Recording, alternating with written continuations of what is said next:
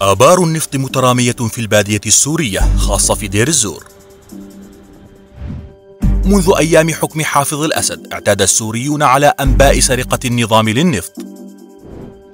ومع وصول بشار أعلن للمرة الأولى عن إدخال النفط للميزانية. بأرقام غير حقيقية مع توجيهها لنواحي صرف تخص القصر الجمهوري والجيش. حرب بشار على دير الزور ومناطق أخرى ولد طرقا جديدة لسرقة النفط. رئيس فرع أمن الدولة في دير الزور بات صاحب السبق بامتلاك بئر له وحده. العميد دعاس العلي استغل حصار داعش لحيي الجورة والقصور بالدير سابقا. على مدى ثلاث سنوات أنتج العلي النفط من بئر يقع قرب مشفى الأسد. تمكن العلي من إنشاء حراقة إنتاج النفط وبيعه لحسابه الشخصي وحساب شركائه.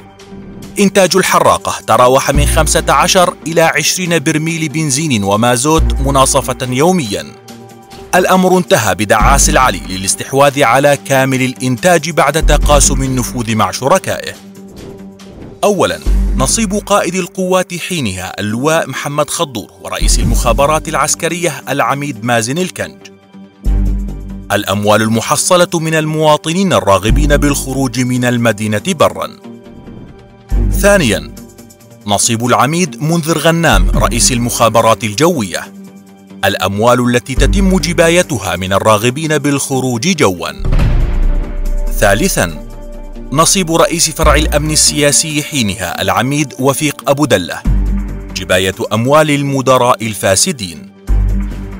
مصادر الاستب نيوز كشفت أن العلي صفى رجالات للنظام بالدير للاحتفاظ بمنافعه. تشير الأنباء إلى أن العلي متورط بتصفية رئيس فرع الأمن العسكري جمال رزوق. العلي حضر أيضا اجتماع المجموعة المسؤولة عن اغتيال العميد عصام زهر الدين. وأنت هل تعرف مسؤولا آخر بالنظام؟ امتلك بئر نفط لحسابه الخاص؟